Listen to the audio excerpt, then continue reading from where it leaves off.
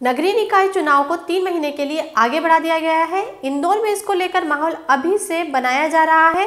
भाजपा और कांग्रेस दोनों ने मैदानी तैयारियों के साथ जुबानी जंग भी आरंभ कर दी है। ऐसे में विधायक आकाश विजयवर्गीय का एक बयान इंदौर में चर्चा का विषय बना हुआ है, जिसमें कहा गया कि रमेश मेंदोला को महापौर का टिकट मिले तो रिकॉर्ड तोड़ मतों से चुनाव जीतेंगे। कांग्रेस और भाजपा के महापौर और पार्षद पद के दावेदारों ने मैदान पकड़ना शुरू कर दिया है। आपको बता दें कि इंदौर में आरक्षण में सामान्य हुई महापौर सीट के लिए, जहाँ कांग्रेस से महापौर पद के लिए संजय शुक्ला का नाम तय माना जा रहा है, वहीं भाजपा से कोई नाम स्पष्ट रूप से सामने नहीं आया है। लेकिन राजनीतिक सूत्रों, भाजपा विधानसभा दो के विधायक रमेश मेंदोले का नाम महापौर पद के लिए सबसे ऊपर है।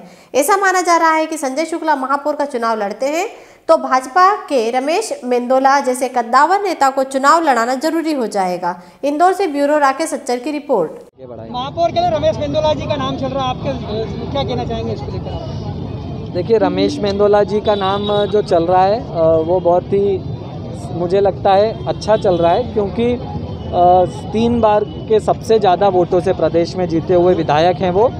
और सांवेर में उन्हें प्रभारी बनाया, रिकॉर्ड मतों से जिताया। शंकर लालवानी जी के चुनाव का भी उन्हें प्रभारी बनाया था लोकसभा का। उसमें भी उन्होंने रिकॉर्ड मतों से जितवाया। तो कुल मिलाकर के जनता उन्हें बहुत पसंद करती है, इससे ये पता लगता है। कार्यकर्ता उन्हें बहुत पसंद करते हैं, ये पता लगता है। इसलिए यदि उन्हें टिकट मिलता है तो निसंदेह हम रिकॉर्ड मतों से जीतेंगे। और मुझे बड़ी खुशी होगी। हेलो फ्रेंड्स आप देख रहे हैं हमारा channel S W twenty four news हमारे सारे वीडियो सबसे पहले देखने के लिए आप हमारे चैनल को सब्सक्राइब करें और पास में लगे बेल आइकन को दबाना बिल्कुल भी ना भूलें।